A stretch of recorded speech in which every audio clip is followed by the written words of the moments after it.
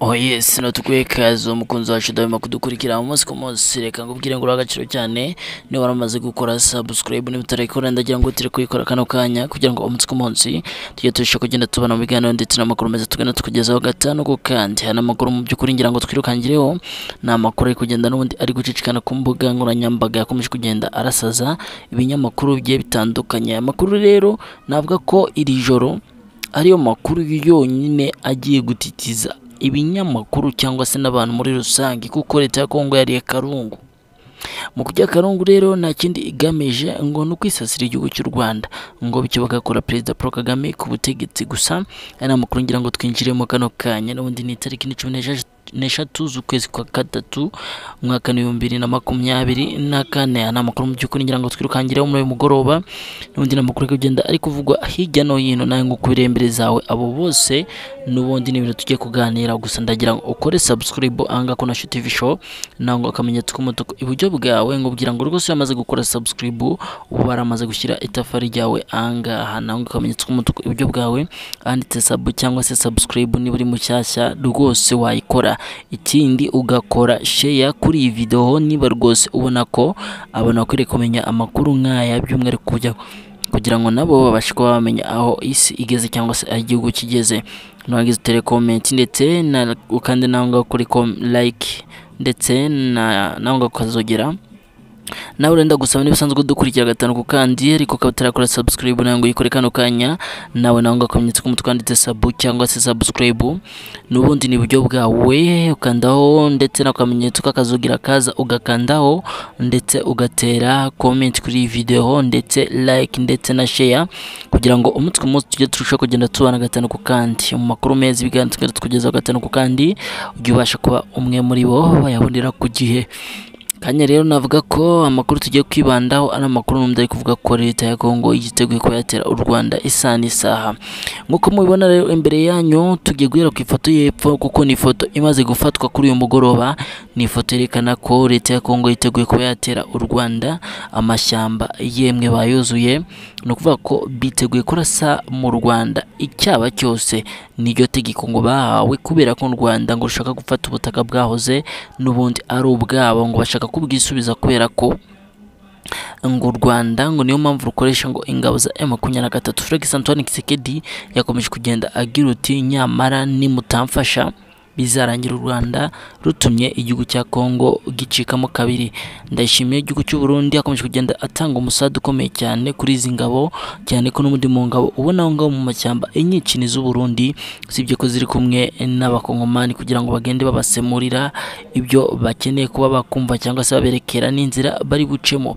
Yemwe buzuye ku mipaka buzuye hehe usibye ko imipaka ya Kongo yo iri kurindwa n'abasirikare ba FDLR kubera ko bari gukorana bya hafi nyamara nubwo ibyo byose biri kuba u Rwanda rwamaze kumenya imipango mibisha y'aba bayobozi bityo rero kuba abasirikare buzuye mu mashyamba aho buzuranye hose n'ubundi ni nk'uko abasirikare b'u Rwanda bajyamiye amajanja mu kuba n'ubundi barasa umwanzi wese aho yaba aturutse hose ndetse igihugu cyose yaba aturutsemo biteguye kuba bamurasa agasubira iwabo vuba vuba. Cyane cyane FDLR cyane ko n'ubundi bafite amateka mabi mu Rwanda abo ngabo rwose ni ihame ko bashobora kuba basubizwa iwabo mbiri mbiri kubera ko ibyaha bakoze ibyandenga kamere mbibutsa ko no ku isi hose abagabo bo barazwi ni na yo mpamvu ndi kubwira ngo ntabwo byoroshya binagato kubera ko iyi ntambara uko byagenda kose leta ya Kongo isa nk'iyamaze kuyitegura kandi mu kwitegura iyi ntambara nta kindi igamije usibye kuba yareka ngo ubutegetsi buhari mu Rwanda.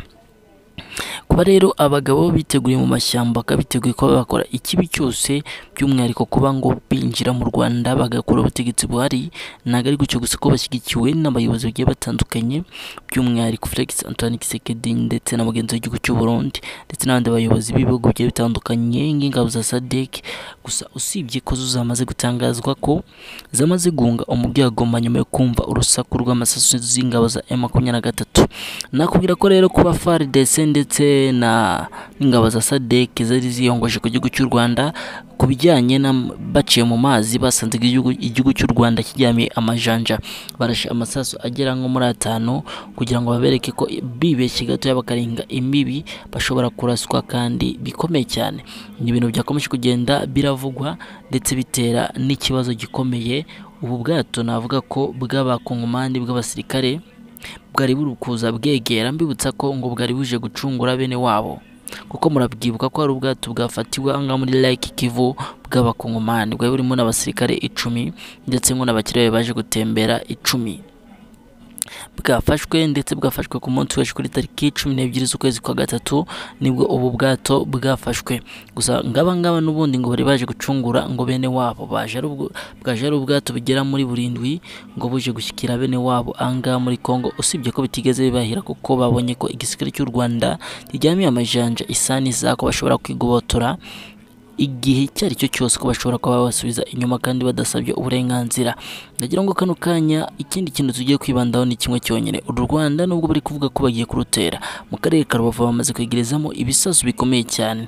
Ndetse bishobora kuba byarasa kure by'umwihariko bigenda ku modoka zirasa. Ibi bisasu rero navuga ko kimwe byonyine gishobora kurimbura umujyi cyangwa se ikaritsiye yose nk'umudugudu wose ukajya hasi. Leta ya Kongo rero ikimara kubona ibi bintu na yo navuga ko yagize ubwoba gusa. Ikitangaje kinabatera ubwoba cyane ni uko u Rwanda rwamaze kwemeza ko kuba rufite kuba rufite ikintu navuga ko ibisasu bihagarika ibindi bisasu ibisasu bizimya ibisasu ndetse n'ibindi n'izindi mbunda zirasa zirasa kure n'indege yinjiye mu kirere cy'u Rwanda cyangwa se n'ibindi bintu byinjiye mu kirere cy'u Rwanda. Ndimwe no ku butaka. Kuba bafite ikintu gishobora kuba cyahita kirasa kiri hano mu mujyi wa Rubavu ni imwe mu bintu byemeza ko leta y'u Rwanda yemwe ifite umutekano uhagije. Badasaba undi muntu ngo abacungire umutekano. Igitangaje rero kuba leta y'u Rwanda yamaze kwerekana ibyo bisasu. Leta ya Kongo itagize ubwoba yaba yarashirutse ubwoba. Gusa bakomeje kugenda babereka ko badakeneye ubushotoranyi. Gusa mu gihe cyose baba bakeneye imirwano u Rwanda rutari kuyitanga. Ni na yo mpamvu rero kubabwira ni mugenze gake kuko isaha n'isaha mushobora kuba mwarasa cyangwa se tukabarasa. Bibaye ngombwa mwagenza gake. Leta y'u Rwanda ikomeje kwemeza neza ko ifite umutekano kandi ko ishaka amahoro muri utu turere. Ari na yo mpamvu ikomeje kugenda yereka Kongo ko nta mikino ifite kuri uru rugamba. Ku bijyanye n'abaturage izabarinda. Iyi ndege rero biri kuvuga ko yaguzwe na leta ya Kongo iturutse mu Burusiya. Ni indege iri kuvuga ko yaturutse mu Burusiya Felix Antoine Tshisekedi nk'ababizi ku itariki zirindwi z'ukwezi kwa, gatatu ni bwo yahuye na perezida wa Burusiya Putin as Putin. N'ubundi ni bwo bamaze guhura bemeranya ko nawe agomba kumuriza umusada kugira ngo yigobotore igihugu cy'u Rwanda.